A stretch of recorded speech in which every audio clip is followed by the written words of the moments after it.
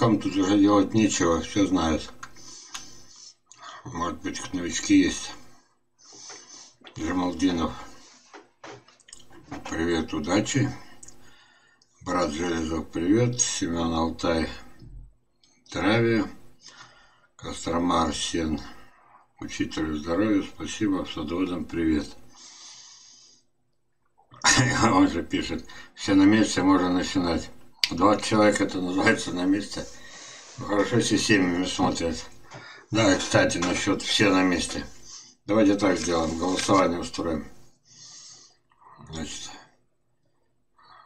проводить или хватит уже? Потому что, да, действительно, где-то повторяюсь. Но много нового. Вот если все собрать, все новое, новое наблюдение. Вот. Расширение, наблюдение, расширение. Короче, решайте вы. Устроим что-то вроде голосования. Так.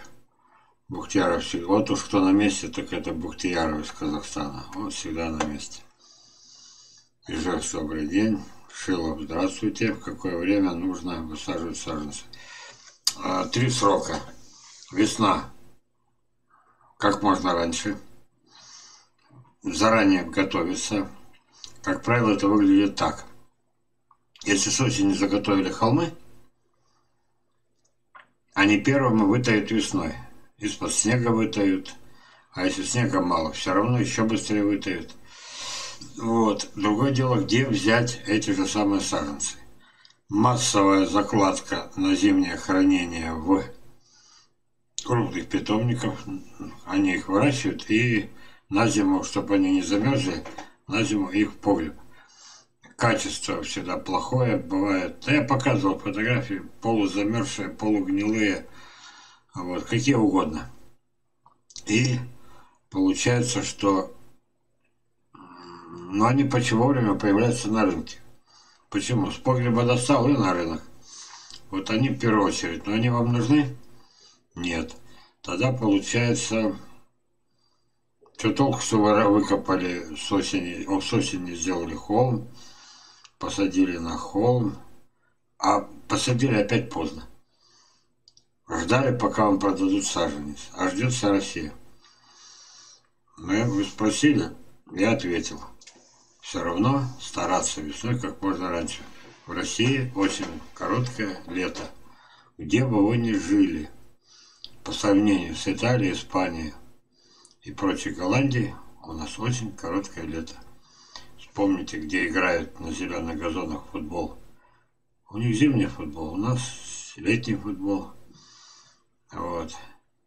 У них зимний футбол. И у них зима это понятие относительное. Значит, получается так, что наше короткое лето, если поздно посадить, того самого месяца не хватит. Уйдут в зиму не готовые, Весной, как правило, не просыпаются. Значит, проблема весенних саженцев, где их взять, когда приходит пора садить. Надо ждать мая, когда привезут, когда майские праздники, когда много дней выходных. Поздно. Про весеннюю посадку я вам ответил. Теперь берем осенью. Есть два срока. Вот, допустим, у меня первый срок это сентябрь. Листья еще все на месте. Пересадка. А давайте что-нибудь покажу. А, ну тут совсем мало, видите, поэтому мы можем куда попасть сейчас? Правильно, ко мне вот сюда. Вы задали вопрос, я отвечаю. Посадка, вот она. Давайте смотреть. Сейчас я подберу подходящую фотографию. Вот это пример для весенней. Поняли? Видели? Вытаивает. Но где саженец взять? Опять ждать, пока привезут. Вот. Ну, правда, лучше его сразу, когда купите привозной, лучше сразу выбросить. Ну, ладно. Не будем о грустном.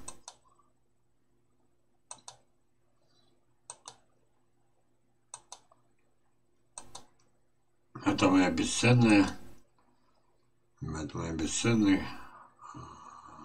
как он называется, архив, да, архив. Здесь можно сделать 10, сотню вот, кстати, видите, Помните, я а, критиковал, крутовато, да? Вот крутовато. Вот вырастил. Ну, крутовато. Ладно, не будем отвлекаться. Ищем осеннюю посадку.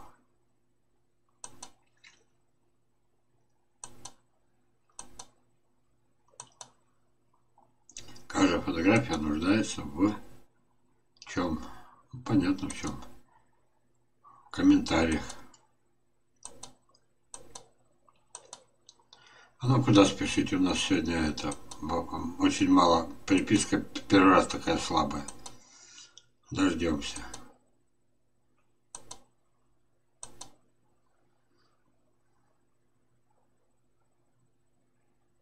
Ой, помните тот фотографию? Ой, когда человек вот так размазал, сделал вот так.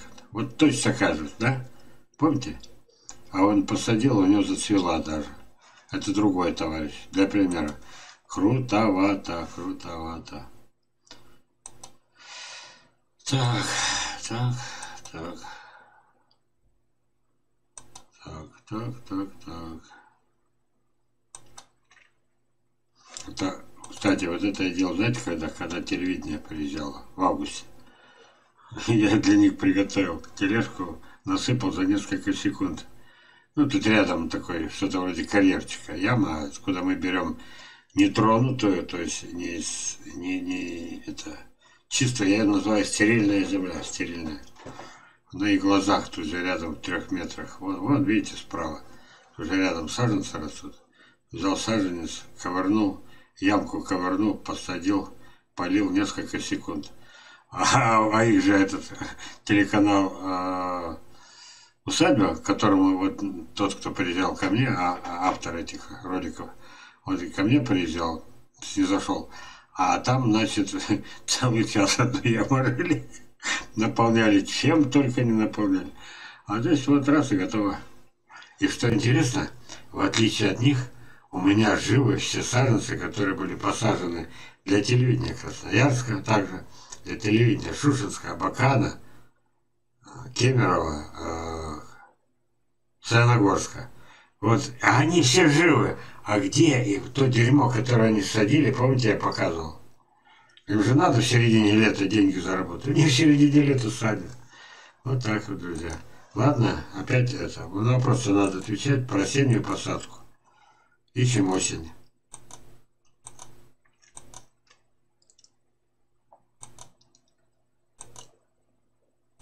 Ищем осень.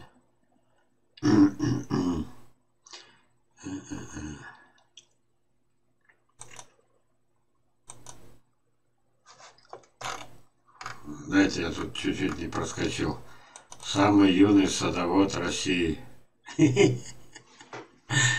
Сегодня ему исполнилось пять лет. А это, знаете что, шелковицу мы посадили. И пошла. Вот он, самый юный садовод России. Делал вид, что помогает. Ладно, опять отвлекся. Ищем осеннюю посадку.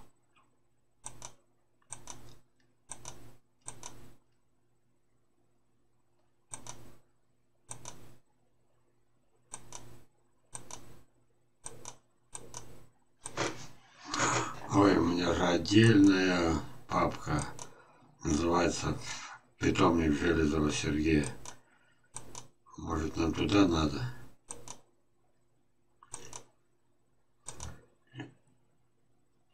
Кстати, это один из моих учеников. Как вам? А? Обратите внимание, из Земли, об этом до сих пор никто не знает, наука не знает, что когда посадка символическая, но все-таки посадка под несколько миллиметров, вот, косточки скорлупки всегда вылазят наверх. Это гарантирует, что корневая шейка там, где должна быть. Об этом опять ни один ученый. Вот тут вот показывает ямку садить. Это все, что он знает. И полез он, этот кустарниковод, полез, блядь, в садоводство. Ну, учить нас, бедных, сирых, которые мы и этого не знали, что груши надо садить вот так и выщипать целый метр этих почек. Это предательство настоящее. А я доктор наук, а там есть его физиономия, там есть его должность, там есть организация, которую он представляет. Ладно, полюбовались, что такое садоводство по железу? Вот оно. Ладно, я так и не дошел до осенней посадки. Все еще шукаю. Это весна.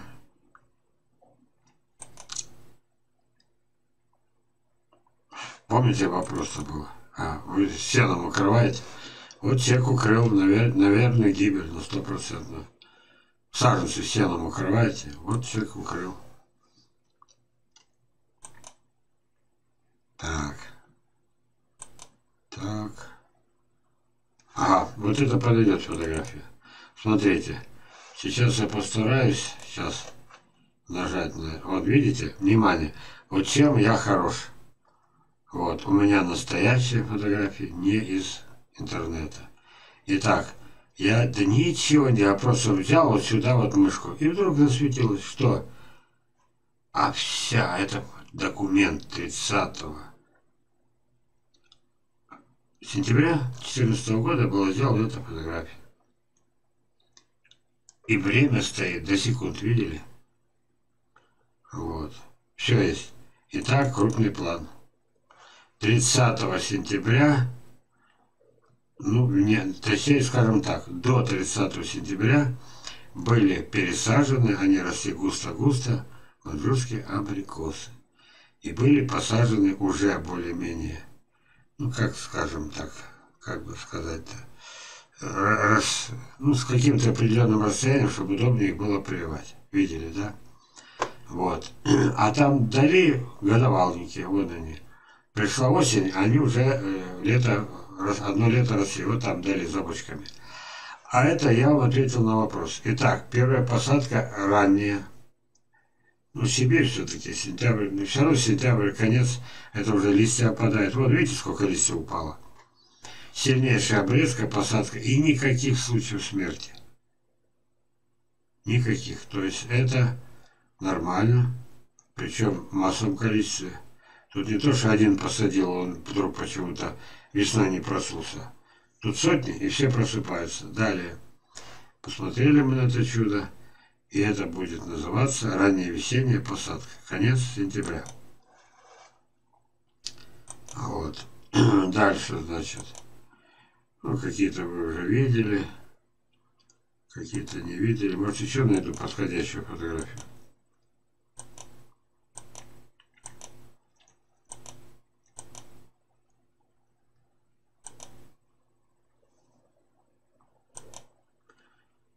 Ценнейшая фотография, каждая должна быть внимательнейшим образом осмотрена и прокомментирована. Это и есть новое садоводство. Почему? В таком разрезе никто никогда, ни один человек на планете вам не расскажет и не покажет, что такое сертификация абрикосу и даты. Видели дату? Вот. И стратификация груш, Видели дату? 21 февраля. Я не болтун. Вот 21 февраля видели, да? А хотите, я покажу, что будет весной? Или не хотите? А, искать надо. Жалко, жалко. Ладно, сейчас попробую. А, вот она. Помните, там было какое написано? Февраля 21, да? Прошло два месяца и один день проклюнувшиеся, видели? Вот это и есть сроки сертификации. Вот так я и учу. Вот так я учу. А потом добавляю, чтобы полсырой песок. Что надо? Соотношение 6 к 1, 7 к 1. Вода к песку 1 к 7. Вот так вот я и учу. Вот. А меня проходимец.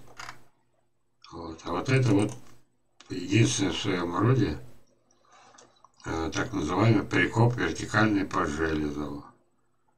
Придет весна, тает, ручками уберу, но холм останется. Посадка была на холм. Теперь поняли, что такое позднее весеннее? Раннее весеннее показал. Это было середина, конец сентября. Массовая посадка уже листочки еще были, некоторые отлетали, некоторые нет. Это раннее весеннее, там еще корни должны были вцепиться в землю.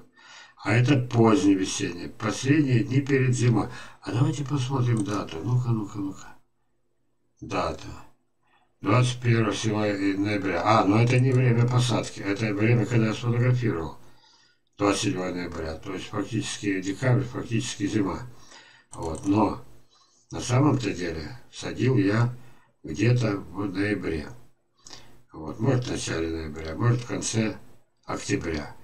Вот. И сразу посадка на постоянное место, на холм, а потом сверху нагребается окучивание, то, что называется, и окучивание до весны. И получается, нет никакого гниения, которое принято при стандартной прикопе. Обязательно большая часть фотографий, большая часть нарисованных схем – это опять похороны дерева. Вот, а вот вам железо. Растает, ручками отгребли, но холм остался. Вот такой вот пологий. Вот это есть учеба по железу. Ну, в общем, вы поняли. Позднее осеннее. Вот она. Еще раз. Позднее осеннее. А раннее осеннее я уже показал. Вот есть еще отдельная папка, но мы уже столько раз рассказывал. Возвращаемся туда, где мы были. Смотрим дальше. У нас все меньше и меньше. Но выдержать три часа не каждый может. Так. Так, так, так. Какое время высаживается, я сказал. Раннее весеннее, раннее осеннее, позднее осеннее и весной. Как можно раньше. Елена Долматов Валерий Александрович, когда умер Царство Небесное, он мне черенки мне нынче прислал. Ну, что я скажу? Пусть память будет о нем. Эльдар, здравствуйте. Вера, Нижний Новгород. Пришлите, пожалуйста, статью о Павлепехов массе вот в этот WhatsApp канал. Так, Вера, вы мне прямо в WhatsApp и напишите мой это, пришлите, я там и отправлю. Вот. Не здесь, а там. Михаил Свинин, всем привет. Архангельская область. Наш человек. Киров, Вятка. А, что-то первый раз такое вижу, Кира Вятка. Спасибо, Олег Константинович. Видимо, из новичков. Незнакомая Кира Вятка. Анастасия Северодвинск. Олег Константинович, чем нож с односторонней заточкой лучше, чем двусторонний? Пришел нож сыроваткой с односторонней заточкой, но мне показалось, если работать с двусторонней. Знаете, есть суперумельцы. Ну, смотрите.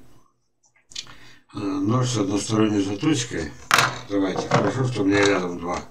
Одно и двух. Если бы у меня было здесь рядом подходящая ветка, я бы, например, тут бы продемонстрировал идеальный срез односторонней заточкой. Это даже не обсуждается. Это не то, что я, я утверждаю, кто-то говорит против. Из 100 специалистов 100 скажут, должна быть односторонняя заточка. То есть, наверное, вы ошибаетесь, когда... Почему у вас вдруг двусторонняя оказалось лучше? Во-первых, односторонний хорошего ножа в руках не держали, значит, так не сказали.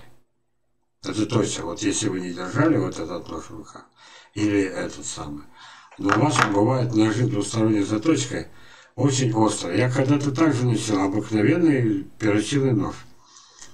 Хорошо точил, долго. Они, наши эротические ножи всегда делали из мягкой стали.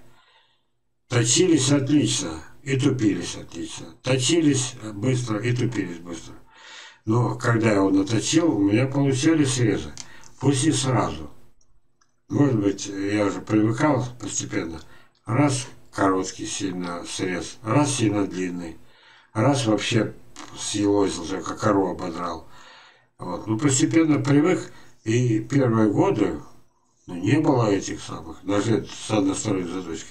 Я работал обыкновенным перочинным ножом, который я точил, точил, точил. Вот это и есть ваш случай. Вот. Но если брать, стать настоящим специалистом, это когда от качества ножа зависит не 5-10 а, прививок. Ну, вот, допустим, мы заказали черенки, получили. Мои дорогие, там, по 200 рублей черенок. Ну, сейчас со скидкой по 100. И давай калечит. Короткий, длинный, короткий. Чернок кончился. Второй черенок. Ну, наконец что-то начало получаться. Или привил, вроде бы все нормально. Сколько людей мне рассказывало? 20 прививок, все мертвы. 30 прививок, все мертвы. 40 прививок, 50, все мертвы. Мы с это все проходили. А вы думаете, нож он последнюю роль в этом играет? Двухсторонний или односторонний? Понимаете, чем дело? Нож, если наверняка у многих был не идеален. Возможно, я даже знаю людей, один из них давал мне нож попробовать, приехал ко мне. Константинович, ну там, по телевизору меня видят, оцени. И дает мне нож отшлифованный, двухсторонний. Но он настолько острый, что действительно ему режет прекрасно. Вот. И он действительно резал им и не собирался покупать еще. Для чего ты уже дорогой покупать? Или такой, как сыроватка, за 3 500. Вот. Но он был сам по себе слесарь, вот, токарь, он, он себя такой нож сделал двухсторонний. То есть он не делал ни с одной стороны, ни с другой. Просто острый-острый нож. И действительно хорошо резал. Но это, может быть, у вас, э, вот кто вы Анастасия, может быть, у вас, раз вам легче двусторонне работать, может быть, у вас как раз кто-то из специалистов такой ножище сделал, ух! Вот. Теперь, какой плоскостью держать черенку? Смотрите.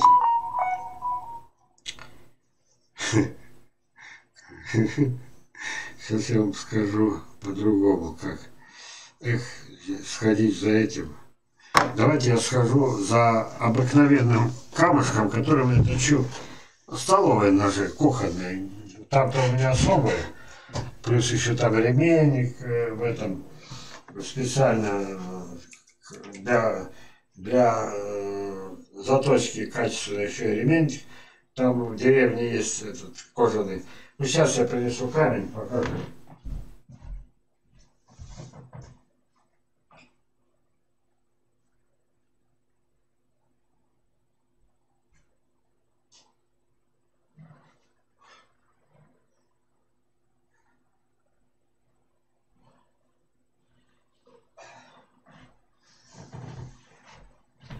Как говорится, пословица, лучше один раз увидеть. Итак, смотрите, вот он камень, да? Вот он нож. Постарайтесь воспроизвести. У меня уже столетняя привычка, я уже спутать не могу. Итак, камень. Я надеюсь, видно. Смотрите, как я держу нож. И смотрите, какой стороной я точу. Вот нож. Поняли, да? Вот так смотрите. Расположение пальцев смотрите. И теперь я начинаю точить. Вот этой стороной. Долго, нудно, упорно. Если у вас нет э, кожаного ремня, вот, который еще доводится до конца, я в фильмах показывал, то, по крайней мере, потом все равно какие-то заусеницы микро вот с этой стороны. Поэтому аккуратненько, чтобы, не дай бог, эту поверхность не испортить, просто тихонечко, тихонечко а эту сторону чуть-чуть заусениться снять. Видите, легонько, легонько. Вот. Но не испортить эту поверхность, она должна быть абсолютно ровная. Вот это вот, вот это. Ну и теперь, мне кажется, вы можете, глядя потом этот фильм воспроизведете, включите в любой день и час, и также возьмете в руки точило, если вы правша, и вот этой стороной. Ну, лишь все наоборот. Все. Я надеюсь, что теперь вы сможете оценить, какой стороны. Так. Фух, ну, читаем дальше.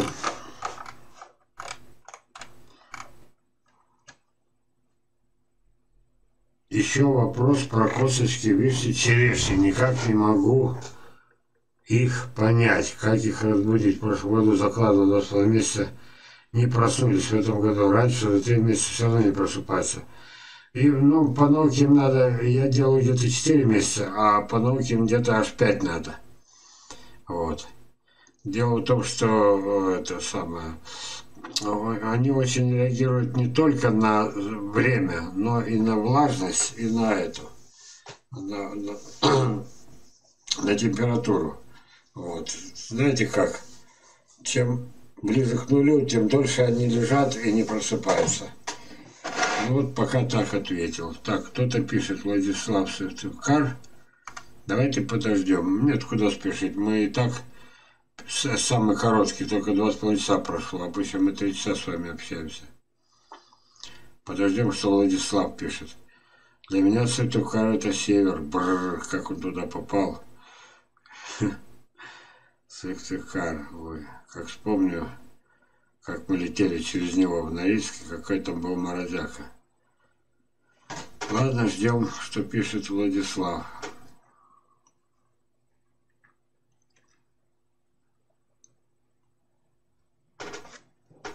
А еще знаете, что раз там целых полчаса для разговора, а еще никто не расходится, я не могу включить WhatsApp на компьютере, чтобы вы не узнали десятки чужих телефонов.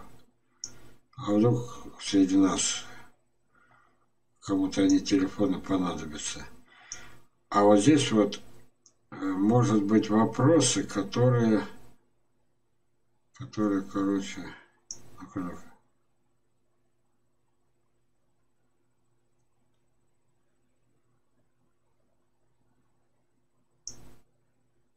Так, так, так, так, так, так. Нет тут интересных вопросов.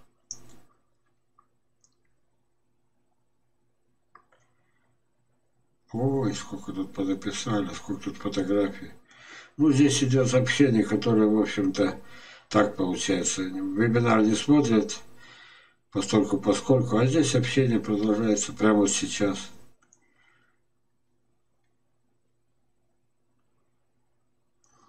Так, а, важнейший вопрос, ура, и как раз полчаса свободных есть. Пока Владислав пишет, смотрите. Итак, я задавал вопрос человеку, которого, э, которого зовут Андрей. Он сказал, важнейший вопрос, давайте, или оставить на следующий вебинар. Нет, друзья, два с половиной часа устали. На следующий вебинар, потому что вопрос был четко задан, и вопрос был мой. 20 лет выращивали абрикос на беседе. Давайте информацию. Вот. И я уже почувствовал, что что-то тут не то. Я поищу, не думал, что информация интересная, особо не фотографировал. Ну и пошло-поехал. То есть, короче говоря, и я хотел сенсацию сделать, что у человека прекрасно плодоносит на бесее, не завидуя, что прекрасно плодоносит на бесее абрикос. Потому что я скептик невероятный. Вот. Но, как видите, я не фотографировал, я не ожидал. Ну, в общем, оставляю на следующем вебинаре. Давайте вернемся к нашим этим гостям. Владислав, здравствуйте. Привел ваши сливы в прошлом году на красную Ой, емуху. Очень хорошо. Слива на чер... Вы что, смеетесь, что ли? Слива на черемухе? В этом году остатки тоже на него привел. Надеюсь, Переживаю, будет хорошая. Владислав, я сейчас уволюсь, напишу заявление, подпишите и становитесь на место. Мне не то, что этого не получилось бы, я бы даже в голову бы не пришло. Слива на черемуху. Ну ладно, груша, но груша же это же это. Это то, что мы называем семечковой культурой. Ё-моё. Слушайте, давайте дружить, а. Давайте сделаем так. Фотографии сливы, на черемухе, крупный план, место прививки. Если есть плоды уже, а, вы только привили, ну, плодов, значит, нет. Давайте все, что есть. Хотите, не хотите, чтобы я умер от этого самого, от любопытства. А вы будете виноваты, если не пришлете мне фотографию. Уже привитых, тем более в прошлом году, значит, там, и, там есть и эти самые веточки, есть там и, и листики, все должно быть. Вот так вот. Давайте, как говорится, колитесь. Есть такое выражение. Колитесь. Ну что, друзья, все. Больше ничего нет. Значит так. Давайте голосуйте, продолжать или нет. Я знаю, что было в прошлом году. В это же время помню, было 17 участников, я также в отчаянии сказал, голосуем.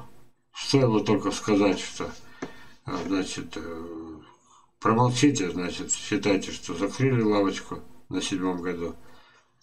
Нет, после этого вдруг оказалось, что все, все мечтают про эти, про вебинары. Вот, закрывать не стали.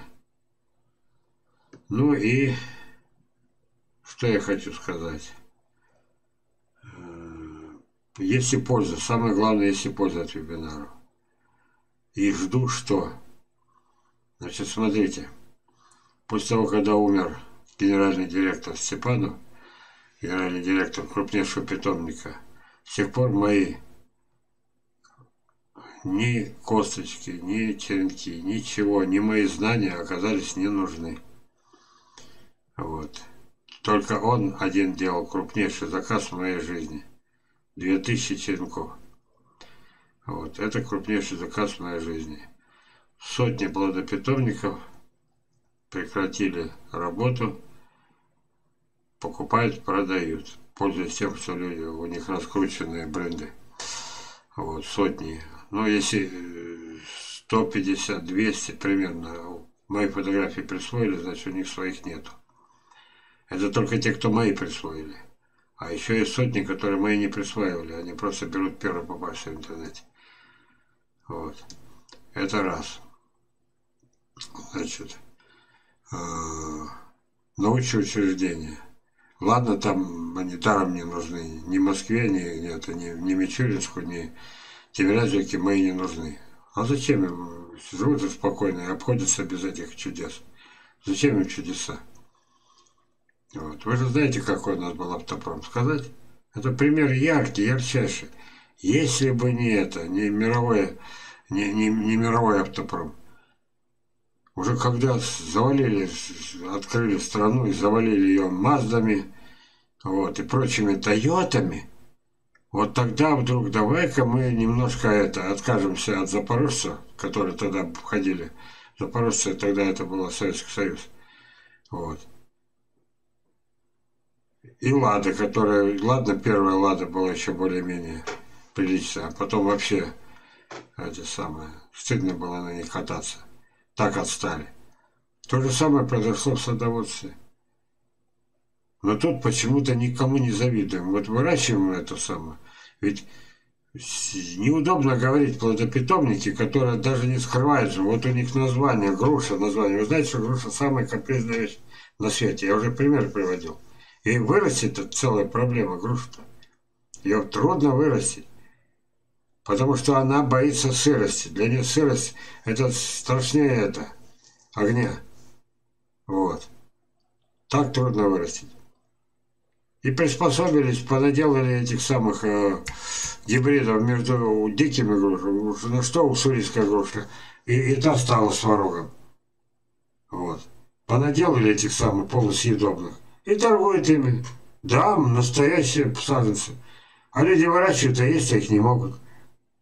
А с виду картинка-то некрасивая, и даже без обмана, а есть не могут. Видите, что делается? Вот вам и наука. А выйти на нормальный уровень, ну, ну, ну, ну, ну нет у вас этих, ну у меня сейчас несколько тысяч семечек на уссурийских груш. Ну любой институт-то может их себе забрать-то.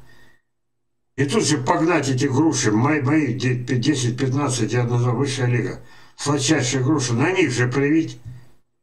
И делайте эти диссертации пачками.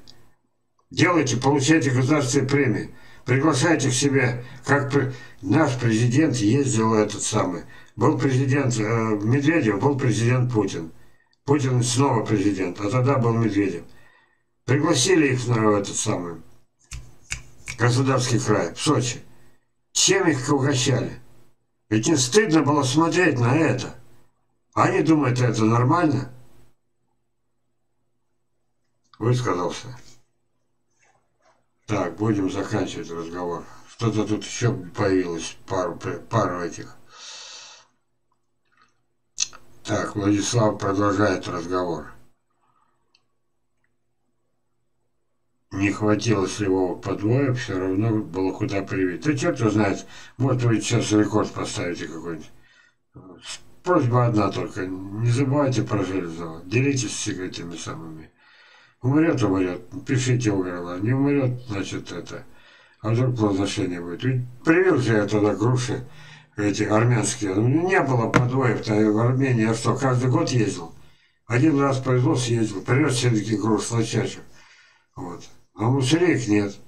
А я их на это, на это самое, на черноплодную рябину. А потом вместе с черноплодной рябиной вырубил чертовой матери. И, и, и он, и он это, я, ужас какой вкус был дикий. А все, приводите на черноплодку, будет это, не замерзнут. Да, не замерзнут. Зато под топор пошли. Из-за того, что их есть было невозможно.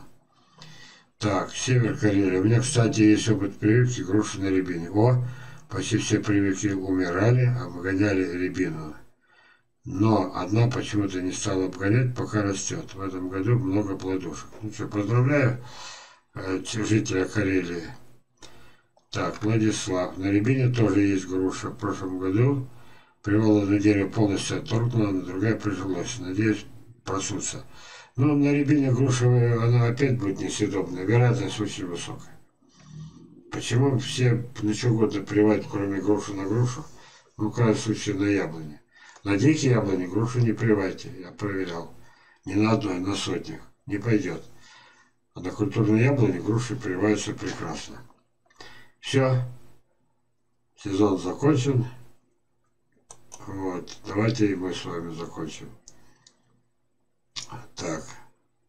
Остановить трансляцию. Так, не забывайте заказывать у меня каталог. Лучше всего по WhatsApp.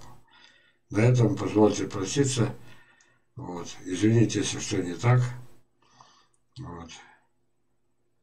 Будем надеяться, что садов прибавится после моих лекций.